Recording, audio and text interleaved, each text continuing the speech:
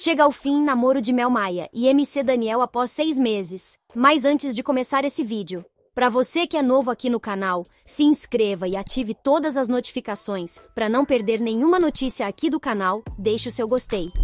Juntos há seis meses, fim do namoro de Mel Maia e MC Daniel é dado como certo. Casal passava por crise nas últimas semanas. Acabou. Após seis meses de relacionamento, a atriz Mel Maia e o cantor MC Daniel resolveram colocar um ponto final no namoro e não estão mais juntos. Os pombinhos enfrentavam uma crise nos últimos dias e agora o término é dado como certo. De acordo com o site Léo Dias, amigos próximos ao casal confirmaram que eles não estão mais juntos. Por ser bastante expressivo, o próprio funkeiro tem transparecido sua frustração e tristeza nos últimos dias.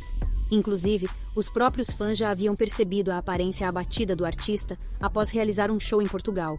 Na última terça-feira, o rapaz chegou a compartilhar um registro em que mostrava sua mão já sem a aliança de compromisso. Joia essa que custou nada menos que a bagatela de 33 mil reais. Procurada, a assessoria da atriz de Vai na Fé disse que não comenta a vida pessoal da artista. De acordo com Leo Dias, os dois já estavam se desentendendo há algum tempo, principalmente devido à agenda de trabalho cheia. Enquanto ele se dedica a uma turnê na Europa, a jovem está gravando Vai na Fé, no Rio de Janeiro. Até então, vale ressaltar, nenhum dos dois anunciaram o término oficialmente. Mel Maia e MC Daniel assumiram o namoro em dezembro do ano passado, mas antes disso já havia rumores de que eles estavam juntos. Ainda não deixou o seu gostei? Esse é o momento. Obrigado por assistir mais um vídeo.